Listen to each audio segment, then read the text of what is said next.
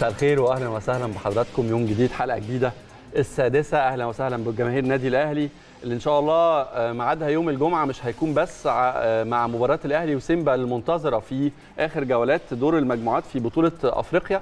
لكن الحقيقة كمان هيكون ميعادنا مع شكل جديد الحقيقة لملعب الأهلي والسلام اللي يمكن ما خدش وقت كتير عشان تبدأ مرحلة جديدة في تطوير. وعندنا كلام كتير جدا طبعا في حلقة النهارده. هنتكلم على ماتش الأهلي وسيمبا هنتكلم كمان على أخبار محترفين في الخارج. هنتكلم كمان على ال Champions League جولة أولى امبارح بين الليفر والريال وبين مان سيتي و بروسيا دورتموند. بروسيا دورتموند. والنهارده طبعا PSG مع بايرن ميونشن وبورتو مع تشيلسي. لكن خليني زي ما قلت لحضراتكم الخطوة الثانية ويمكن جت بشكل سريع جدا في تطوير ملعب الأهلي والسلام زي ما أعلنت طبعا شركة استادات الوطنية لإدارة المنشآت الرياضية.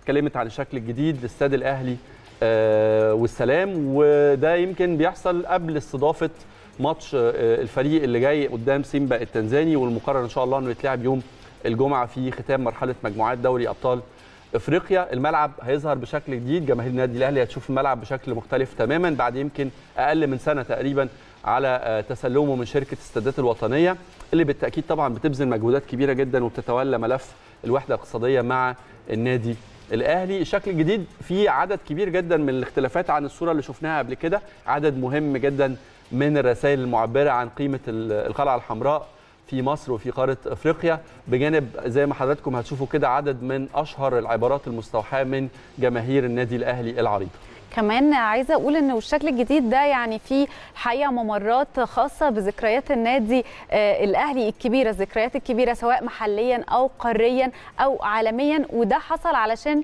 الهدف منها إن هي تخلد اللحظات الرائعة بالنسبة للنادي الأهلي. في الوقت كمان اللي بتستمر فيه أعمال إنشاءات طبعا المقصورة ال VIP طبعا المقصورات ال VIP بجوار مدرجات الدرجة الثانية. ودي المواجهة للمقصورة الرئيسية اللي هتكون متاحة قدام كل ضيوف نادي القرن بعد الخروج من أزمة كورونا طبعا وفتح الملعب لاستقبال الجماهير. كمان العميد محمد مرجان أكد طبعا نائب رئيس مجلس إدارة استادات الوطنية إن الشركة بتواصل العمل على مشروعات الوحدة الاقتصادية للنادي الأهلي الساعية. إن هي تأكد ريادة النادي العريق ووضعه على سلم العالمية في كافة الجوانب مش بس الرياضية. خطوات كتيرة يمكن ترجمت ده. يعني شفنا ده بيحصل طبعا زي ما حضراتكم شايفين في ملعب الأهلي والسلام اللي تقريبا من حيث الشكل أعتقد النهارده بنشوف ملعب بمواصفات عالمية.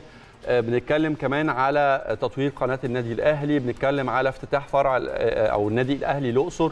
اللي حضراتكم شفتوه أول روافد النادي الأهلي في صعيد مصر ولسه الحقيقة خطوات تانية جاية كتير. خليني أقول لحضراتكم كمان إنه في الفترة المقبلة أعتقد كتير من الحاجات اللي هتظهر للنور أعتقد شراكة اقتصادية قوية جدا بين عملاقين.